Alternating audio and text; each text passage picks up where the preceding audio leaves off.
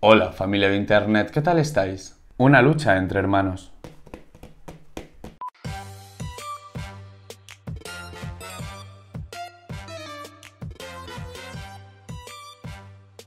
Hoy vengo a enseñaros Holmes, Sherlock and Mycroft, un juego de mesa para dos jugadores con partidas de 30 minutos de duración y publicado en España por Devir. Se trata de un juego en el que os enfrentaréis como las dos mentes más brillantes de Londres para resolver si Michael Chapman es solo una cabeza de turco o forma parte de un grupo anarquista. Vamos a preparar la mesa. La madrugada del 24 de febrero de 1895, una bomba estalla en el Parlamento de Londres. Al instante, detienen al joven Michael Chapman, un obrero al que se le relaciona con grupos anarquistas. Mycroft Holmes, al servicio de la corona, es el encargado de investigar dicha relación. Y todo parece fácil de resolver hasta que se entera de que su hermano, el detective consultor Sherlock Holmes, ha sido contratado por los padres del joven, que creen en la inocencia de su hijo. Para preparar la partida, coloca el tablero en el centro de la mesa. Pon al Dr. Watson, Mrs. Hudson y al Inspector Lestrade en sus espacios correspondientes. Baraja el resto de personajes y ponlos boca abajo formando un mazo en su espacio del tablero. Ahora cada jugador roba dos personajes, eligiendo uno que coloca sobre los espacios día 1 y devolviendo el otro al mazo, que volvéis a barajar. Dejad las 24 fichas de investigación formando la reserva general. Decidid al azar el jugador inicial, el cual escogerá entre representar a Sherlock o a Mycroft, y recibe sus tres fichas de acción y cinco fichas de investigación. Baraja el mazo de pistas formando un mazo boca abajo y revela cuatro pistas. Empezamos. Deberéis obtener la mayoría de pistas para acusar o inculpar al joven Chapman. Para ello, utilizad vuestras fichas de acción para visitar a los diversos personajes que aparecen por Londres y así activar sus habilidades especiales. La partida dura 7 turnos completos, que representan una semana de investigación. Cada turno compuesto de tres fases. Vamos a verlas. Fase 1. Inicio de día. Excepto en el primer turno, en cada uno de los siguientes sacad una nueva carta del mazo de personajes y ponedla boca arriba sobre el día correspondiente. A continuación, las 6 fichas de los jugadores se ponen de pie sobre las cartas en las que se encuentran. Fase 2. Investigación. Empezando por el jugador inicial, coge una de sus fichas de acción que esté de pie sobre un personaje y la coloca tumbada sobre otro distinto, donde no haya ninguna de sus fichas. Inmediatamente después puede utilizar la habilidad del personaje si lo desea. Tras eso le toca al otro jugador y así vais alternando hasta que los dos hayáis tumbado vuestras tres fichas de acción. Durante el primer turno, como aún no habéis colocado ninguna ficha en el tablero, estas se colocan desde vuestra zona directamente tumbadas sobre los personajes. Fase 3. Fin del día. Comprobad si algún personaje está ocupado por dos fichas de acción. En ese caso voltead la carta, quedando agotado, no estará disponible durante el siguiente turno. Como excepción, los tres personajes iniciales nunca se agotan, estando siempre disponibles.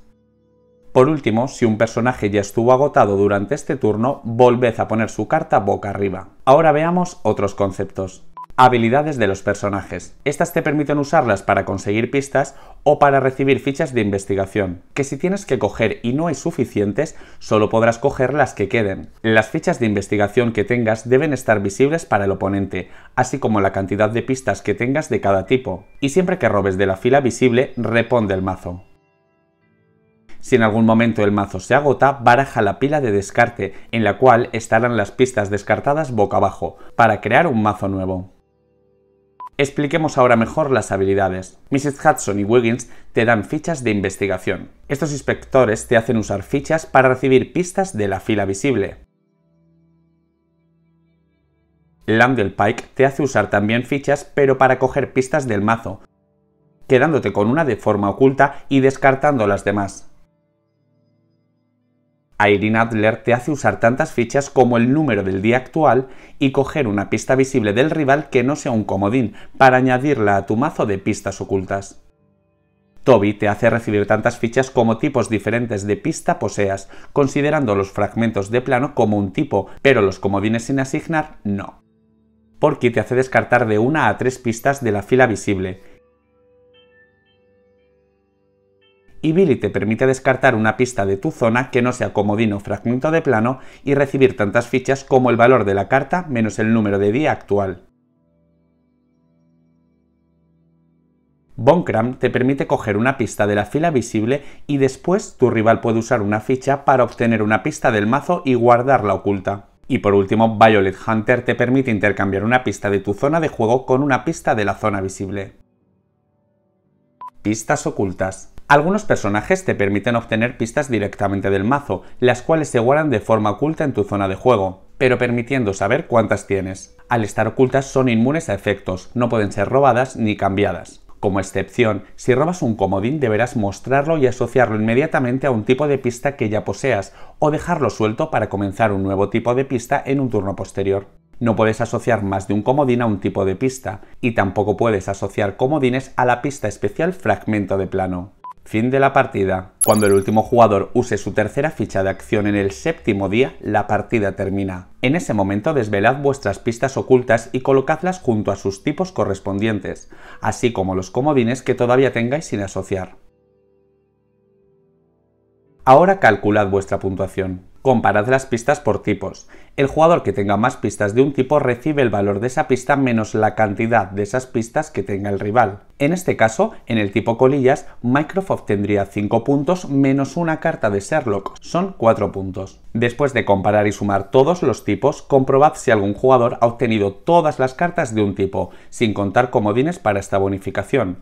En ese caso recibe 3 puntos adicionales. Ahora sumad puntos por cantidad de fragmentos de plano que tengáis en este caso, por tener 4, sumas 6 puntos. Por último, cada jugador resta 3 puntos por cada comodín que tenga sin asociar. El jugador con más puntos es el ganador, en caso de empate el que tenga más fichas de investigación. Holmes, Sherlock and Mycroft incluye tres cartas para partidas avanzadas. Con Sherlock Mycroft empezad mostrando la cara del jugador que no sea el inicial, el cual durante cualquier momento de su turno puede coger una pista de la fila visible y colocarla horizontalmente junto a su zona de juego.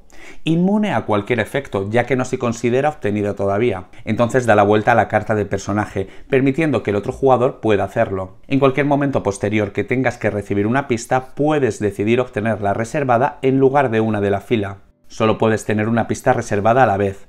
Al final de la partida, cualquier pista reservada no obtenida te resta 3 puntos. Con los villanos Moriarty y Moran, introducidlos al mazo tras revelar los personajes del día 1. Cuando salga alguno de ellos, resolved el efecto inmediatamente, y tras ello descartadlo y sacad un nuevo personaje. James Moriarty hará que empezando por el jugador inicial, cada uno descarte una pista visible de su zona o devuelva dos fichas a la reserva repitiendo este proceso de nuevo, pero haciéndolo ahora primero el segundo jugador y luego el inicial. Sebastián Moran hace que, comenzando por el jugador inicial, cada jugador tumbe una de sus fichas de acción que tenga de pie, perdiendo una acción este turno. Espero que os haya gustado Holmes, Sherlock and Mycroft. Se trata de un juego de colocación de trabajadores y set collection a través de la gestión de recursos en una temática perfectamente ilustrada en este must para la ludoteca de dos. Si te ha gustado el vídeo, compártelo con tus amigos. No olvides suscribirte al canal de YouTube y puedes entrar en mi web para tener más información de otros juegos y además, si quieres contenido exclusivo o venirte a las quedadas en Madrid, te dejo en los comentarios el link de mi Patreon. Y ahora a recoger.